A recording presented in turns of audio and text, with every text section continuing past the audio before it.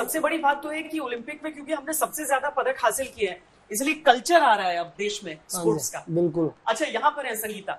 हाँ जी ये संगीता है ये भाभी है ये भाई है बड़ा भाई है वो माता जी है ये दो भतीजे हैं नटखट।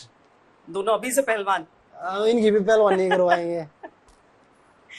संगीता जो है हम बता दें कि जो फोगट सिस्टर्स हैं उनमें सबसे छोटी सबसे छोटी है ना? हाँ जी। और अभी भी कंपटीशन कर रही हैं अभी भी ट्रेनिंग कर रही हैं पूरा।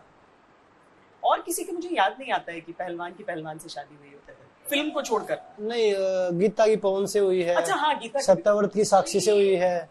विनेश की सोमवीर से हुई है। अब नया ट्रेंड आ गया है।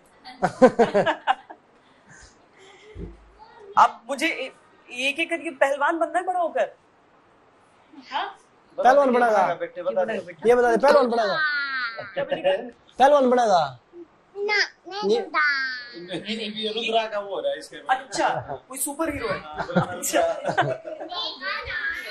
तो आप उस दिन जब जीत कर जीते थे बजरंग तो उस समय देख रहे थे हम कि सब लोग खूब नाच गाना सब कुछ चल रहा था यहाँ पर।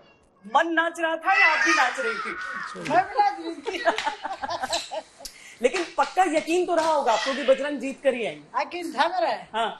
पक्का था। जीत की मेरे बेटा है। सर हाँ अकिन था वो? उन्हें हारे उन्हें नहीं पछे दर्द कारण हार के ना हारने का थोड़ी जाए अच्छा बचपन से सात साल की उम्र से शुरू कर दिया था। अंत छोटा सा नोट कर दी ये ये रहती है साथ दिन हाँ।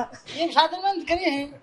हाँ। करवा लो। बता दे के बनाया बेटे? ये बनेगा बेटा? जीत कराएगा गोल नहीं कराएगा क्या के बनाया तू क्या बनाया तू तेरी और बता दे। पहलवान। पहलवान बनेगा। आजा। मेरी गला कुश्ती कर ले आजा। जल्दी आजा। जल्दी आजा आ जाओ आ जाओ आ जाओ। जल्दी आजा। पटक के दिखाओ। अरे वाह। पूरी ताकत लगा रहा है।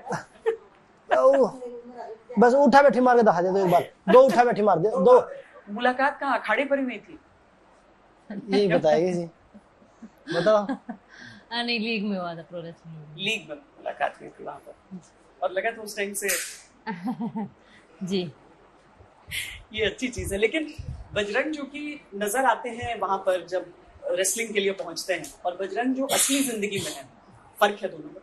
आ, बिल्कुल देखिए क्योंकि एक एथलीट मतलब दो दोहरी ज़िंदगी जीता है। एक तो जो हम ट्रेनिंग में होते हैं हाँ। और एक अपनी पर्सनल लाइफ में होते हैं।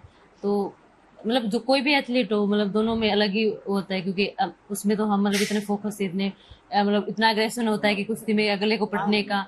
लेकिन असल ज़िंदगी में बहुत मतलब नरम है बहुत सॉफ्ट है मतलब बहुत शायद टाइप के हैं। शाय टाइप की है यानी कि शुरुआत आपकी तरफ़ से हुई। नहीं थी इनकी लेकिन मतलब इतना वो नहीं था कि भाई हाँ मतलब कोई वो नहीं था। मतलब बहुत सिंपल तरीके से हमारी मतलब बातचीत हुई थी जो भी मतलब हुआ था कोई ऐसा जी। लेकिन फिर बात बन गई जी।